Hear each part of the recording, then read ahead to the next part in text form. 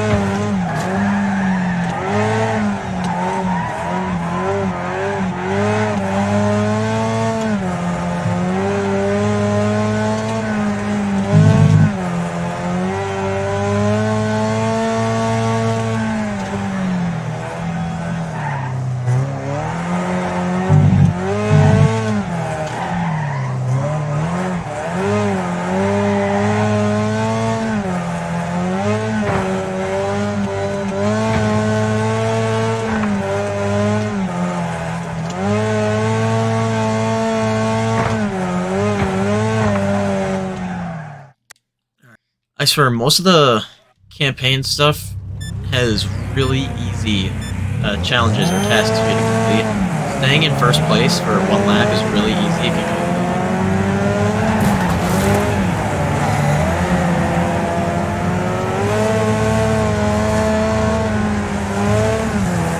Heck, I can do that sometimes before the second lap is over.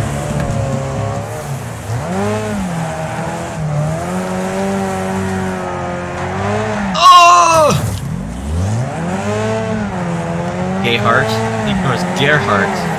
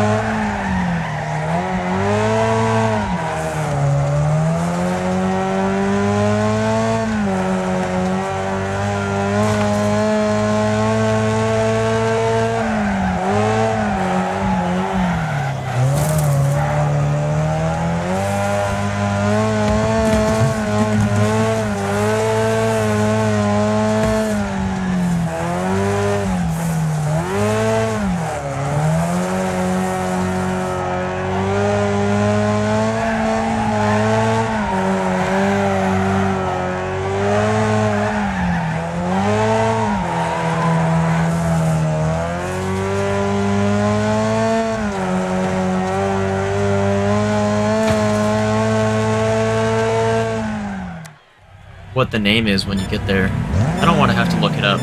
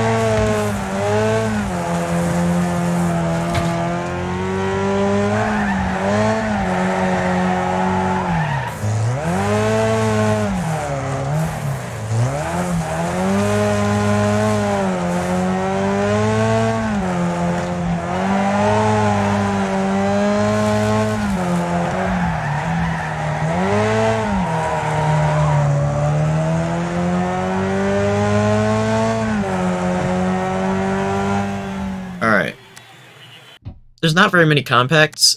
It's definitely not the worst compact. I think that would have to go to the super van for sure because this thing is undrivable.